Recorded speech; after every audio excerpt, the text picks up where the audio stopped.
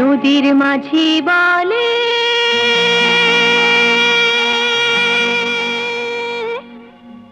এসো নবী।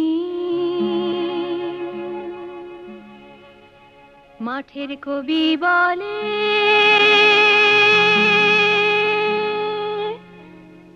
এসো নবী। দেখেছি দূরে। ওই সোনালি দিন দেখেছি দূরে ওই সোনালি দিন।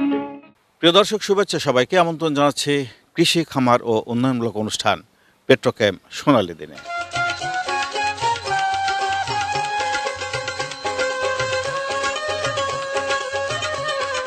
মরুভূমির দেশ কাতার দুবাই সহ মধ্যপ্রাচ্যের ধুধু মরুভূমিকে সবুজায়ন করতে বাংলাদেশ থেকে যাচ্ছে।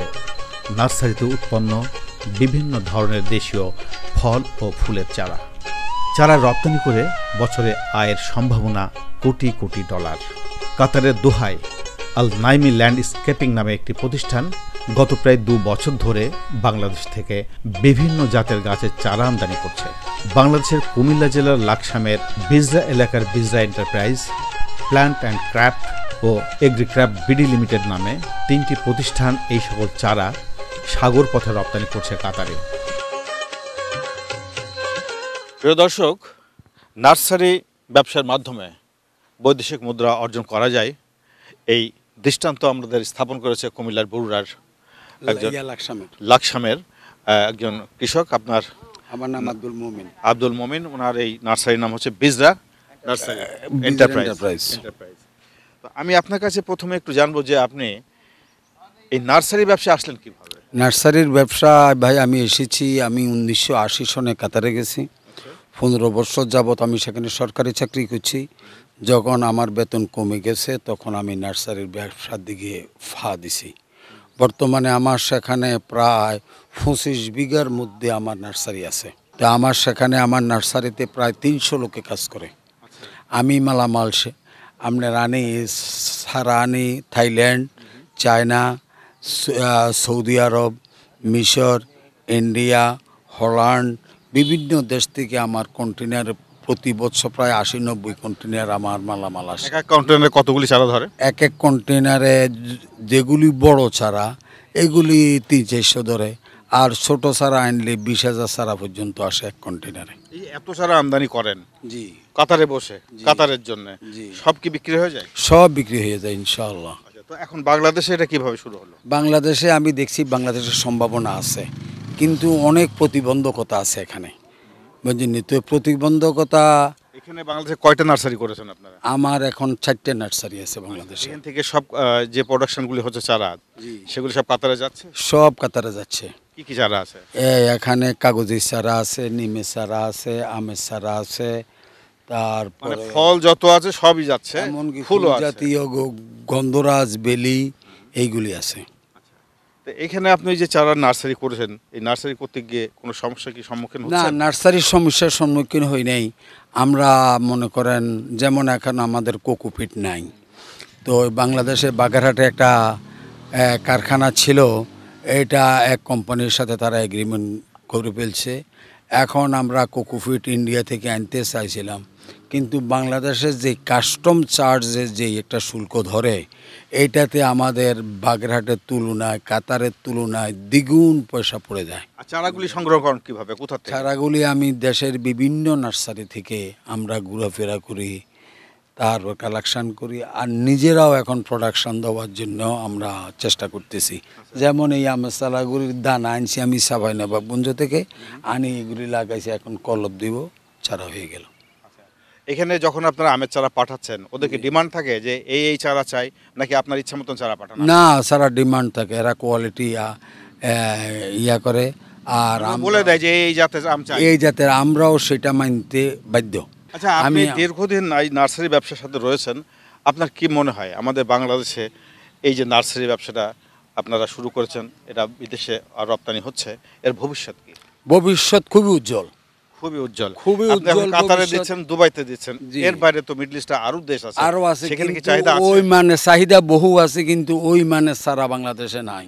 যেমন কাতার থেকে যে সমস্ত চারা আসে এক একটা চারা রাউন্ড হলো আপনার চোদ্দ ইঞ্চি আঠারো ইঞ্চি বিশ ইঞ্চি এইরকম। এইগুলি নিম গাছ আছে বট গাছ আছে তারপরে দি ফার্ম গাছ আছে বিভিন্ন ভ্যারাইটিস গাছ আছে আমাদের। আপনি তো শিখছেন ওইখানে তাই না? জি জি আপনি কি এখানে ওই জাতীয় ওদের যে চাহিদা সেই মতন গাছ তৈরি করতে পারবেন না? একশো বার পারব সময়ের প্রয়োজন।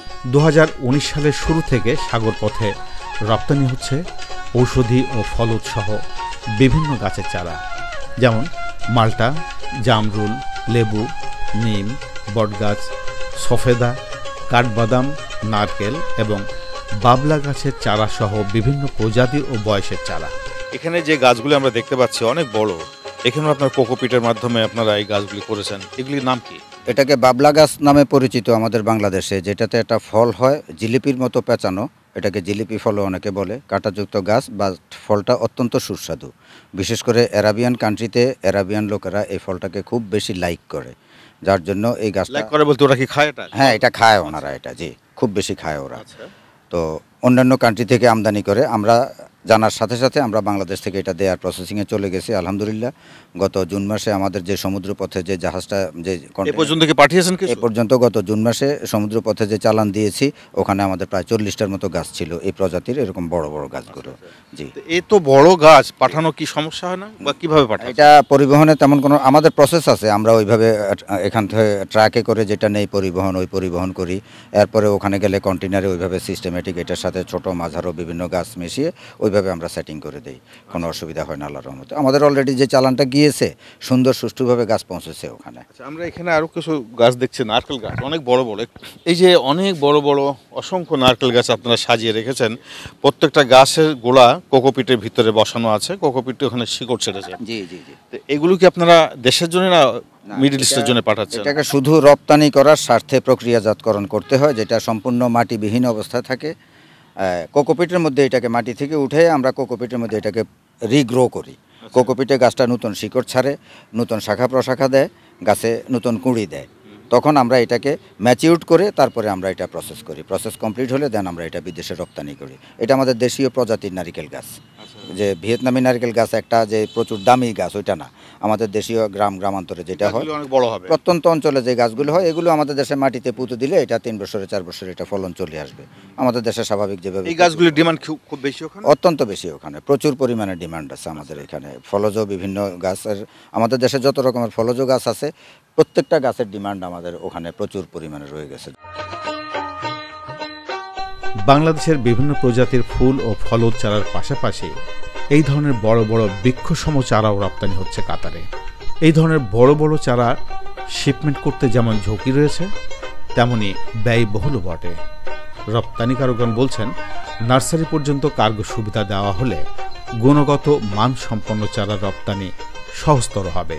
যেমন আমি পনেরো বিশ দিনের মাথায় একটা কন্টেনার সারা পাঠামো কিন্তু ফোর্ট থেকে আমাকে এখানে কন্টেনার দিতেছে না।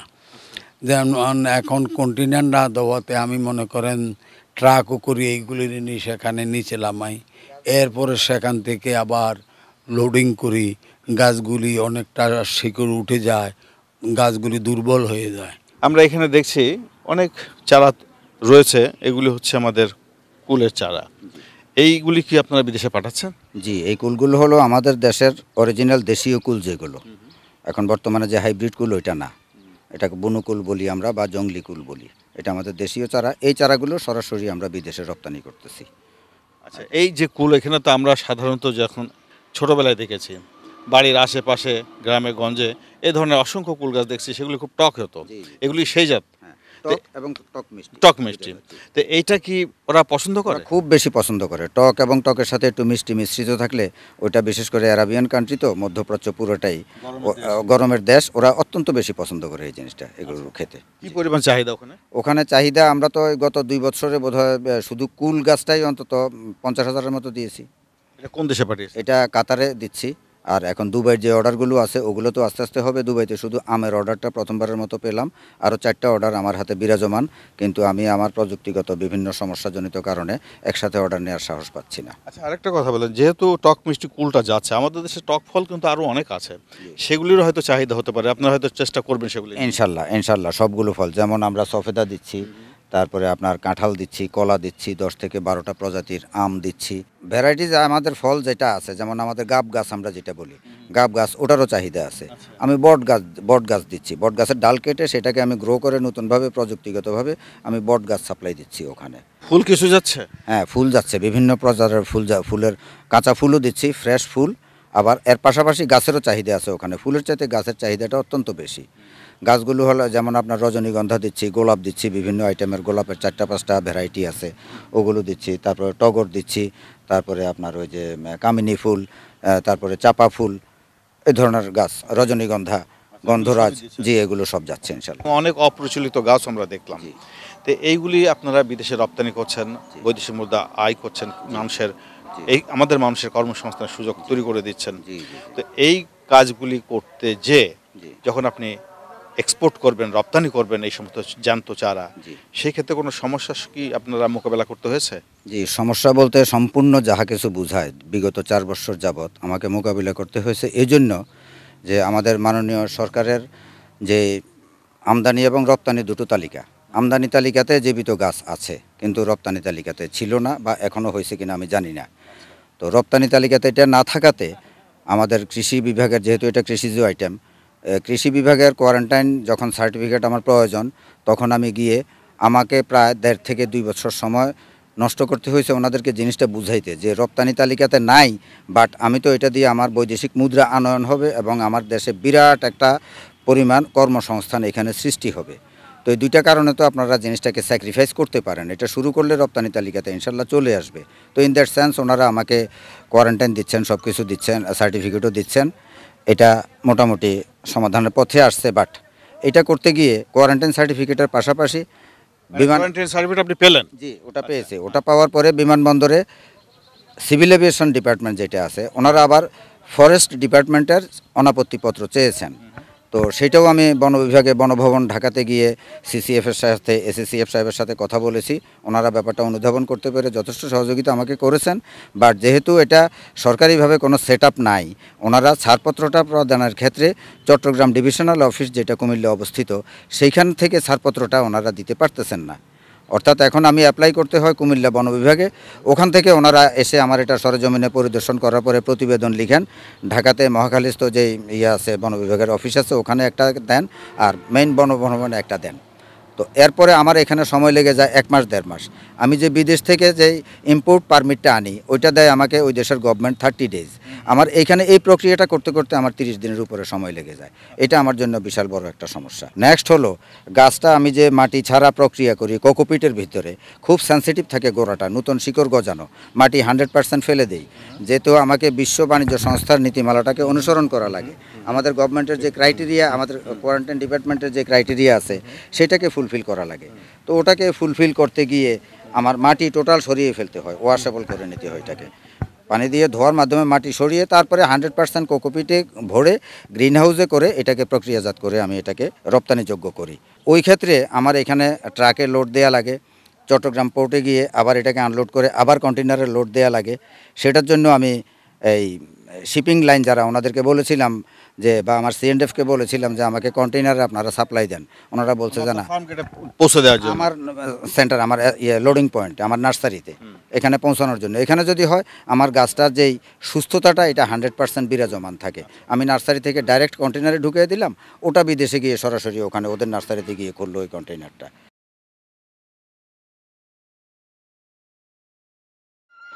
কাতারের আমদানিকারকরা শর্ত দিয়েছেন। চারার গোলায় কোনো মাটি থাকতে পারবে না, অর্থাৎ স্টেরিলাইজড কোকোপিটে শিকড় গজানো, ক্ষতিকারক পোকা মাকড় ও রোগবালায় মুক্ত এবং ছত্রাকনাশক স্প্রে করা আবশ্যক। সেভাবে চারা প্রস্তুত করা হচ্ছে। আমরা লক্ষ্য করছি, সাম্প্রতিক সময়ে দেশের সবজি চারা উৎপাদনকারী নার্সারি সহ রপ্তানিযোগ্য চারা উৎপাদনে কোকোপিটের ব্যবহার বৃদ্ধি পেলেও কোকোপিট উৎপাদন তেমন বাড়েনি। ফলে প্রয়োজনের সিংহভাগই আমদানি করতে হচ্ছে। বাংলাদেশ থেকে চারা আমদানিকারক বা বায়ের কর্তৃক প্রদত্ত শর্ত মোতাবেক চারা উৎপাদন ও পরিচর্যা করা হচ্ছে প্রশিক্ষণপ্রাপ্ত কর্মীদের দ্বারা। পাশাপাশি রপ্তানির পূর্বে পলি নেট শেডে উচ্চ তাপমাত্রায় চারাগুলোকে কিছুদিন রাখা হয় এবং পুনরায় প্রাকৃতিক পরিবেশে রেখে রপ্তানি উপযুক্ত করা হয়। আমাদের দেশের নার্সারিতে উৎপন্ন অপরিচালিত রপ্তানিযোগ্য বিভিন্ন ধরনের ফুল ও ফল গাছের চারা রপ্তানির পরিধি বৃদ্ধি করতে উদ্যোক্তারা ইতিমধ্যে আধুনিক মানের নতুন নতুন নার্সারি তৈরি করছেন, যেখানে শিক্ষিত যুব সমাজের কাজের সুযোগ সৃষ্টি হয়েছে এবং আশাতীত বৈদেশিক মুদ্রা আয়ের দুয়ার উন্মুক্ত হচ্ছে। তবে আমাদের রপ্তানি বান্ধব সহজ সরল পথের অপরিচিত দেওয়ালগুলো অপসারণে আন্তরিক হতে হবে সংশ্লিষ্ট কর্তৃপক্ষের। আমরা একটু আগে আপনার সাথে কথা বলছিলাম তখন দেখলাম যে ওখানেও একটা পলি শেড করেছেন। সেই শেডের মধ্যে আপনারা এটাকে এনভায়রনমেন্ট কন্ট্রোল শেড বলছেন সেখানে গাছের চারাগুলি রেখেছেন। আবার এখানেও আপনারা দেখতেছি আপনারা এই এনভায়রনমেন্ট কন্ট্রোল শেড করছেন। এই শেডের কাজ কি? এই শেডের কাজ হলো গাছগুলোকে যখন আমি সম্পূর্ণভাবে এক্সপোর্ট কোয়ালিটি করে ফেলব করার করার স্বার্থে মাটি থেকে রূপান্তরিত করে শুধু কোকোপিটে গাছগুলোকে পুনর্জন্ম করা। গাছের নতুন শিকড়, ডাল, কুঁড়ি ইত্যাদি গজাবে। এই পলিশের ছাড়া এয়ারটাইট অবস্থান ছাড়া ওগুলো করা সম্ভব নয়।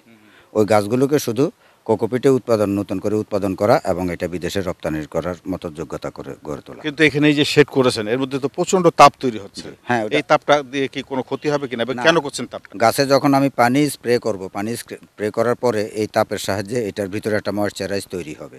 ওই ময়েশ্চারাইজটার মাধ্যমেই আমার এটা একটা একটা বৈজ্ঞানিক প্রযুক্তি এটা সোজা কথা। ওটার মাধ্যমেই গাছটা নতুনভাবে শিকড় ছাড়বে গাছটা কুড়ি গজাবে। এই যে শেড থেকে আপনি যখন বের করবেন গাছটা প্রচণ্ড গরমের থেকে বের করবেন করে আপনি বিদেশে পাঠার আগে কি করবেন? এটা থেকে বের করে আমি আরেকটা ধাপ, এটাকে আরেকটা শেড নেটের নিচে আরেকটা শেড করব। অনলি নেট দিয়ে যেখানে কিছু আলো কিছু বাতাস থাকবে কিছু তাপ থাকবে। ওখানে রেখে কিছুদিন রেস্ট দিয়ে সাথে খাপ খাওয়ানো খাপ খাওয়ানোর জন্য পরবর্তীতে আমি ওপেন এয়ারে আনব আন্ডার স্কাই খোলা আকাশের নিচে আনব।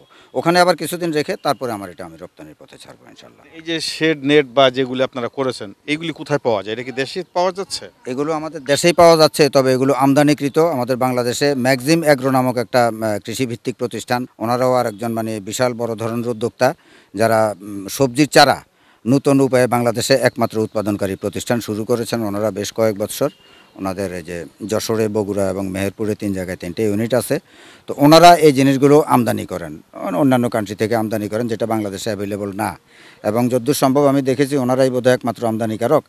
আর আশেপাশে দু একজন কেউ থাকলেও ওটা মানে বাজারের ভাবে আমি দেখছি যে ওনাদের কাছ থেকে আমার এটা সহজলভ্য এবং সব মালামালগুলো ওনার কাছে আমি পাচ্ছি। যেমন এই পলিশেটটা তৈরি করতে পলিফিল্ম আছে তারপরে এটাতে বিভিন্ন চ্যানেল আছে প্রোফাইল আছে অ্যালুমিনিয়ামের যেগুলো আমাদের দেশে হচ্ছে না। উনি ইন্ডিয়া থেকে এগুলো বা অন্য কান্ট্রি থেকে আমদানি করতেছেন। এই কাজটা আপনার সাথে আপনি একাই করছেন নাকি আপনার কোনো সহযোগী আছে বা নতুন কাউকে তৈরি করছেন আপনি? আমার এটা করার জন্য বিগত তিন চার বছর যাবৎ আমি নিজেই করে এসেছি। তো এখন আমি চিন্তা করতেছি যে আমি একা এটা করে আমার একার ভিতরে জিনিসটা রেখে দিয়ে লাভ নেই। যেহেতু এটা দেশের জন্য নিজের জন্য বিশাল বড় একটা লাভজনক বিষয়। দেশের জনসংস্থান, কর্মসংস্থান, প্লাস বৈদেশিক মুদ্রা অর্জন এবং নতুন একটা কিছু ক্রিয়েট হওয়া, বিশ্ববাজার আমাদেরকে চিনলো যে এই মিডল ইস্ট বিশ্বে অন্তত বিশটা কান্ট্রি থেকে, উন্নত কান্ট্রি থেকে গাছের চারা হিউজ কোয়ান্টিটি ওনারা আমদানি করে। তো বাংলাদেশ থেকে গাছের চারা গত জুন মাসে আমার সমুদ্র পথে প্রথম চালান যাওয়ার পরে ওরা বুঝতে পারছে যে বাংলাদেশ রপ্তানিযোগ্য চারা উৎপাদনে সক্ষম। তো এই যে আমাদের সক্ষমতাটা, এটা বাংলাদেশের একবারে প্রতিটা প্রান্তরে প্রান্তরে ছড়িয়ে দেওয়ার উদ্দেশ্যে আমি নতুন উদ্যোক্তা সৃষ্টি করতেছি ইনশাল্লাহ। এর ভিতরে এই যেই ছেলেটা এখানে দণ্ডায়মান আছে আমার ছেলের বয়সী সে এই এলাকারই ছেলে একজন বিশ্ববিদ্যালয়ের স্টুডেন্ট। অনার্স শেষ পর্যায়ে আছে লাস্ট ফাইনাল ইয়ারে। কি নাম তোমার? আমার নাম হচ্ছে মোহাম্মদ খালিদুল ইসলাম। মানে প্রায় এক মাস যাবত আমার সাথে কাজ করতেছে। এ- তবে শিখতে হবে কি টেকনোলজি এই জন্য আগে আপনাকে শিখ হ্যাঁ এই জন্য শেখার জন্য আঙ্কেলের সাথে আছি।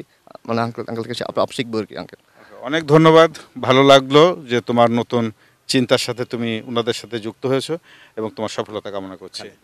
থ্যাংক ইউ মধ্যপ্রাচ্যের দেশগুলো বিশ্বের বিভিন্ন দেশ থেকে গাছের চারা আমদানি করে। আমরা সেখানে বাজার ধরতে পারলে বছরে কোটি কোটি ডলার আয় করা সম্ভব হতে পারে। মধ্যপ্রাচ্যের শুধু কাতারেই অন্ততপক্ষে বারোটি প্রতিষ্ঠান বিভিন্ন দেশ থেকে চারা সংগ্রহ করে থাকে। গুণগত মানের চারা তৈরির যথেষ্ট উপকরণ ও দক্ষ জনবল রয়েছে আমাদের। এই অপার সম্ভাবনা কাজে লাগাতে প্রয়োজন। ওই সকল দেশের বিভিন্ন মেলায় আমাদের নার্সারি মালিকদের অংশগ্রহণের সার্বিক সুযোগ করে দেওয়া। যে চারা আপনারা তৈরি করছেন এগুলি মূলত কাতার এবং দুবাইয়ের জন্য। সেখানে এত চারা আপনারা তৈরি করেছেন। এই ডিমান্ড কি আছে বা ওরা কি শুধু বাংলাদেশ থেকে নিচ্ছে না আরও অন্যান্য দেশ থেকেও নিচ্ছে? আমার উপকরণের অভাবে দুবাইয়ের একটা অর্ডার আমি এখন আমার গ্রিন হাউসে যেটা আপনি দেখেছেন, আমি প্রসেসিংয়ে রেখেছি পাঁচ হাজার আম গাছ শুধু শুধু আম গাছ পাঁচ হাজার। এরকম আরও তিনটা অর্ডার আমার হাতে আছে, দশ হাজার, বারো হাজার, পনেরো হাজার করে। একটা দশ, একটা বারো, একটা পনেরো। বাট ওই অর্ডারগুলো আমি রিসিভ করি নাই, ওটাকে আমি স্থগিত রেখেছি। জানি না পরবর্তীতে থাকব, থাকবে কি না এটা। বাইরেরা তো আমার জন্য বসে থাকবে না, যেহেতু বিশ্বের অন্যান্য উন্নত কান্ট্রিগুলো ওরা রপ্তানি করার জন্য গাছ সাজিয়ে বসে আছে।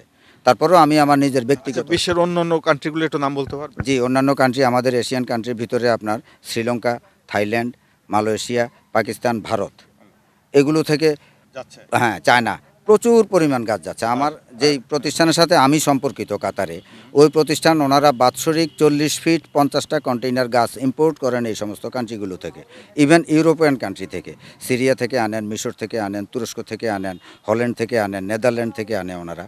ওনারা যেহেতু বাংলাদেশি লোক, বিশেষ করে কাতারে যে প্রতিষ্ঠানের সাথে আমি সম্পর্কিত, চল্লিশ বছর ওনাদের নার্সারির বয়স এবং বিশাল আকারে ওনাদের নার্সারি ওইখানে বিস্তৃত। আমাদের বাংলাদেশে বর্তমানে নাম এই মুহূর্তে আমার মনে নাই।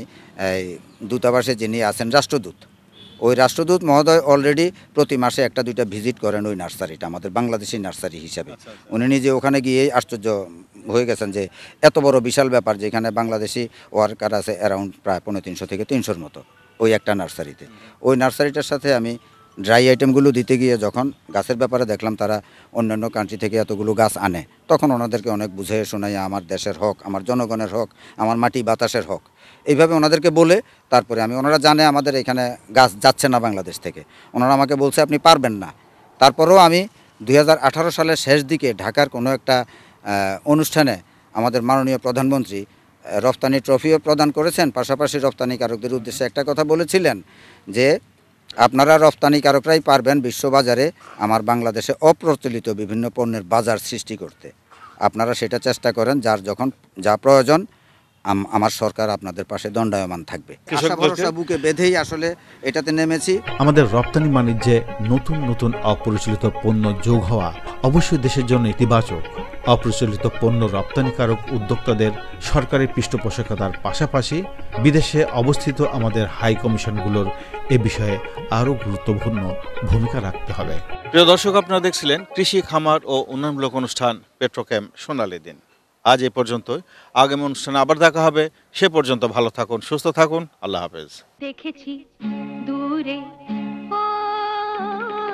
সোনালি দিন। দেখেছি দূরে ওই সোনালি দিন। নদীর মাঝি বলে